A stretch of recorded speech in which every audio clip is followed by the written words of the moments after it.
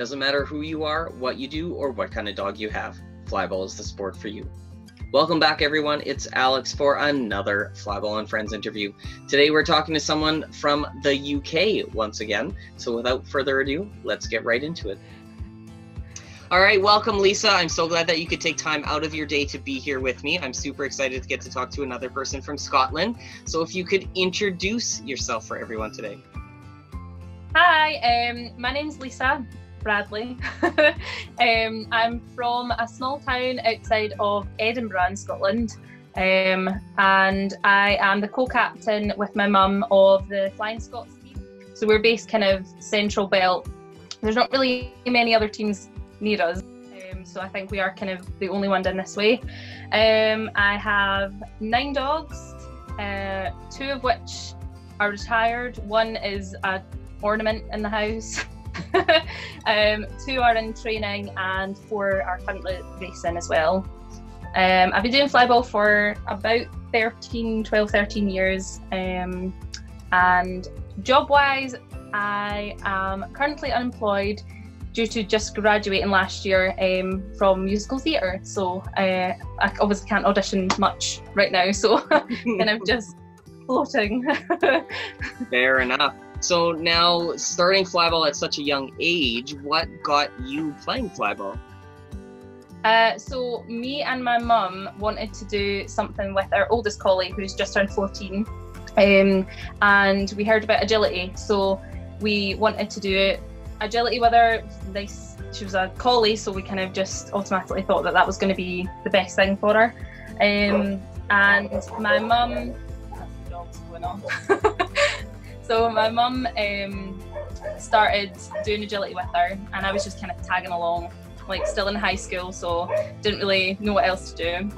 Um, and then once we were training Smudge, um, we couldn't get her to run ahead of my mum, um, and just the whole like kind of running away from my mum. She wasn't really. She was. She was kind of like knotted to my mum from the word go. Uh, so we tried flyball. We, we were suggested to try flyball to get Smudge to run out ahead of my mum and then come back. And as soon as we tried flyball, we were kind of like, that was us. Much easier sport for, for well, we thought so at the time. it was a much easier sport. Uh, and we just kind of stuck. So that was it, yeah. That's cool. So did you starting flyball off in a younger age help you with your musical theater aspect of everything in life? Um, I don't really know. I, I don't know because I d- I didn't really. Um, I always loved musical theatre, but I didn't kind of ever have the confidence to do it until I'd studied about two other subjects at college. So, um, I, I, I did always love it. So it was kind of always there. Um, but I think because we started flyball with just like a team that only trained for Crufts, it was kind of it was all older women. They weren't old, but they were older women. They were like my mum's age. So um, I wasn't really used to being around people my own age in the sport. So I kind of, I probably got a little more confident that way, kind of being more mature. But I don't know, it was kind of an odd experience, I suppose, at that age, without having their kids around. So yeah, for sure. So now, is there something that you would recommend to someone starting out in flyball? Um, probably just to kind of have fun with it. Um, first and foremost, like that is always what we kind of support is that people just have fun and want to get a greater connection with their dogs and um, just spend more time with their dog, kind of getting to know each other as a dog partner, kind of partnership. Um, and definitely don't underestimate a good recall. that is the one thing that we're always like work on the recall. Like if you don't work on anything else, that like getting that focus is really really important because as soon as the dog doesn't pay attention to you, it's so hard to work. Even in a like a, an individual kind of setting, it's really hard to work. So that's the kind of thing I definitely say. Don't underestimate the recall. All right, now is there a most memorable dog that you've gotten to watch race in flyball? Um, so probably I had to think about this earlier. I couldn't actually think, but the one dog that kind of stood out um, from years ago, like uh, he def- I know he definitely doesn't run anymore, was Strider. Um, it's Catherine Ridley's. Um, I can't even remember what mix he is, but he's a big lurcher. Um, he's beautiful. He's absolutely stunning dog. Um, and I know a lot of people have got pups from him, and they're just they're great dogs. Um, but he was always one that kind of stuck out in my mind. Seeing like running at the champs, and he was like the fastest dog in Britain for a long time. Like he was running three sevens and all that before I even knew a sub four dog existed. so um, he was kind of one, and then other two more recently um, was Fusion, which is Katie Wardle's dog. Um, she's from Saltires. Um, and then Ice, who is Nicole Fisher's. Um, I just I just love the two dogs. I, I don't really know why, but I just love watching them. So those kind of stick out. That's cool. That's good that you like watching dogs, right? It, it makes the sport that much more enjoyable. so how often does your team practice? Uh, we are currently just once a week on a Sunday. Um, it's kind of always been a Sunday for us ever since we started. Um, it just seems to work out the best Yeah. for getting the hall and people being free and stuff. That's cool. So how many tournaments would you say are around in your area? Um, there's not much in our like close area. We kind of have to travel roughly an hour, a little bit more over an hour for a competition, and it's mostly us that host um, the indoor UKFL shows in Scotland. Um, the other teams just haven't gotten found a venue that's quite right for them yet, so um, we do host the majority in Scotland. Um, apart from that, it's probably about three hours maybe when we go across the border to England. Fair enough. Now, what would be the furthest you've been for flyball? was um, 11 hours down to Ipswich um, for the Euros in 2016, and uh, that was a very long journey for us. That was probably the furthest our team has gone, so Fair enough. long. Did you guys take a camper or a trailer or anything like that? Uh, yeah, we took a caravan, so we were um, happily in a caravan. I was so glad we had a caravan by that point because we were tenting it a lot um, in the first few years of us doing flyball. So thankful for the caravan. That's awesome. Now, do you have a favorite tournament that you like to go to besides any of the championship stuff? Um, so I probably would say either Oswestry, which is just outside of Wales, um, or Anglesey, which is kind of at the very top of Wales. Um, I've only been to Anglesey once, and that was last April. Um, but it was just such a great venue. Like everybody in the UK always raves about the competitions there. Um, and I was I can understand why because the venue's great. Um, but Oswestry is probably the one we go to most often um, compared to like our ones. So I would definitely say there. The racing's just great. That's awesome. All right, now what would be one of the more important things you also learned at when you first started playing flyball? That so I think one of the main things is that like your partnership with your dog is so important. Like you get the the best out of your dog if you have a good relationship with it. Yeah. Um, and I found that that's like worked no matter like what age your dog is, what like if because I've there's obviously like some people that come to flyball and they're like, oh, I want to bring my auntie's dog, and we're like, uh, like you have to have a good relationship with that dog if you're gonna be training it because it doesn't make sense to just bring it along when it's never been on a walk with you. So that's kind of always been um, the main thing I've realised is really important is having a good connection with the dog For that sure. you're wanting to train. Yeah, training seems to go a little bit smoother when you have that good bond with them. Yeah, definitely, much smoother. All right, so what exactly do you like about playing flyball? Um, mostly, I'm sure that everybody says um, the social aspect is great because you kind of get friends up and down the country. You can rely on a lot of people that you like. If you were stuck somewhere, you could get help or something like that. Um, I love as well. Um, I'm very competitive, as I'm sure many flyballers are. Um, but I'm I'm very very competitive. So I love the sense of like accomplishing something that you've worked really hard for. Yeah. So like whether it's a time, whether it's a dog just running clean, um, or something like that, and just like the opportunity to kind of make something happen. Mhm, I really like. I enjoy that part of it. That's cool. So, is there a team or a person that you would suggest a new person to go and talk to or watch play flyball? um, if it was them obviously joining like my team, it would be like me or my mum because we're the main trainers. But um, out with the team, um, if there was somebody to suggest in the ring as a like really strong unit, I would suggest Tails will win. Um, purely because they are like like a well-oiled machine. They are so on top of it. Like once, as soon as that whistle goes and their timer starts, they are in.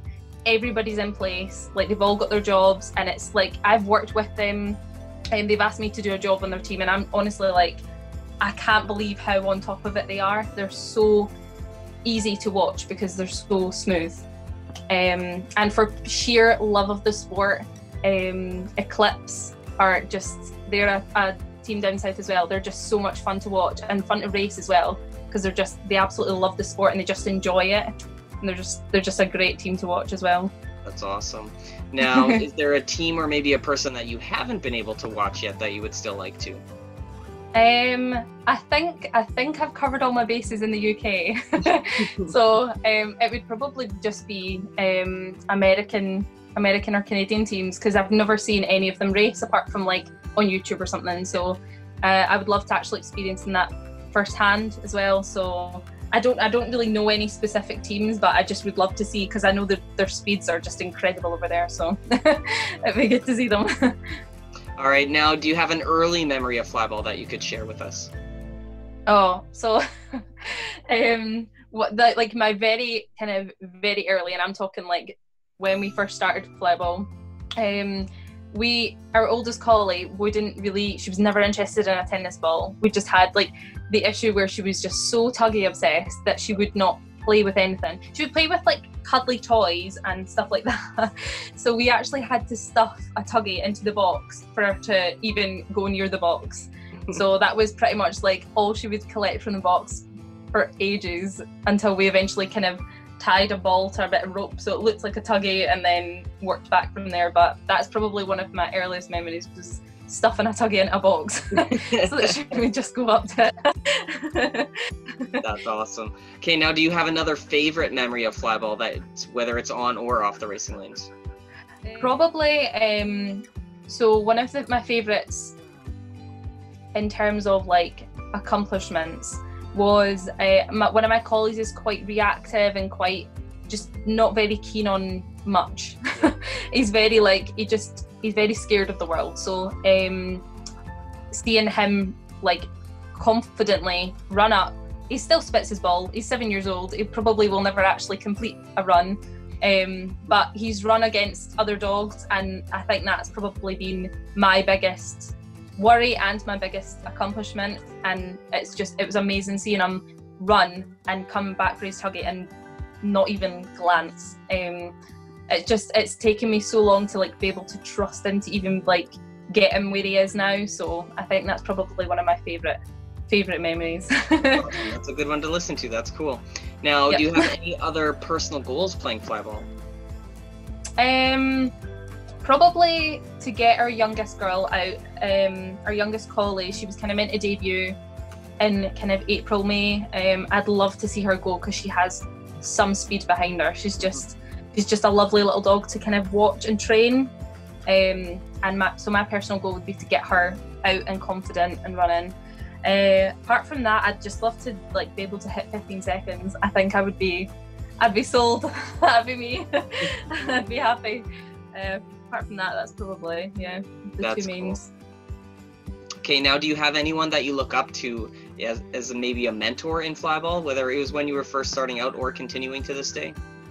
Um, I don't like. I don't really know. I, I had a really long, hard think about this. Um, and I probably like I would have just said to my mum because my mum's just stuck out for so long, and she's like been so open-minded to learning everything. Like we started way back when we didn't even know the BFA was a thing, so we never we like we literally just training for Crufts. So we trained all year for one event. Um, and we've kind of just developed we've gone to seminars and we've gone to different workshops and everything and we've had like trainers come into the team and stuff and help us um, but mainly just like my mum's just a great person so i just i just look up to her in every aspect mostly. All right well i think the only thing i have left is do you do anything outside of playing flyball Um, so I am a musical theatre graduate, so I do love singing and dancing and performing and stuff. Um, so that is my main my main focus. Um, but outside of that, I love going to the gym. But obviously they're closed right now, which is really sucks a lot. um, and I'm currently been doing. Um, I've been painting a lot as well. Again, I studied art like years ago, um, and I've been painting again. So I've been like designing crate tags for dog owners and stuff. So that's kind of been my main my main thing just now, but that's pretty much it. Yeah. Well, if you shoot me a link, we'll definitely put that in the description below that everyone can check out and maybe get some crate tags from oh, Thank you. and just so you know, I like singing and dancing too, but I'm sure that you're a lot better than I am at that. I've had a lot of training. All right, well, that's all I have, Lisa. The only thing I have left really is if you could challenge someone to do an interview with me. Do you have anyone in mind? Um, so I had two people in mind. Um, Vicky Daw, who is with Storm Chasers, and she's also a board member for uh, UKFL as well. Um, and Rachel Caldwell, she's our junior liaison officer, and she's also a fellow Scot. So it'd be good to get um, another Scot on to do some to do some interview with you. So that'd be good. That's awesome. Well, I'm super excited to get to get in touch with them and hopefully get them on the channel as well. But other than that, Lisa, that's all I have. And thank you again so much for sharing your stories and your experiences. And it was great catching up with you and getting to meet you for the first time. And hopefully, I know, I know. the racing lanes real soon. Yeah, definitely. Thanks again, Lisa. It was great getting to meet you and listen to all your stories and experiences. If you guys are new here, make sure you hit that subscribe button, or if you just haven't hit that subscribe button, make sure you consider doing so. I know there's lots of you out there still that are not subscribed, and I would love if you could. If you guys would hit that notification bell just to get notified when any new video drops so you don't miss a thing. If you guys would like some more information on Lisa's team or flyball in general, you can check out the links in the description below. Anything else that we talked about that we would love to throw links down there, they will be down there and you guys can check them out. If you guys would like to check out my merchandise page, I got a link down there that you guys could check out that I have tons of shirts, sweaters, and anything, and it delivers worldwide you guys could have. Thanks again for joining me today, and hopefully we'll see each other real soon. Until next time, guys, see you then.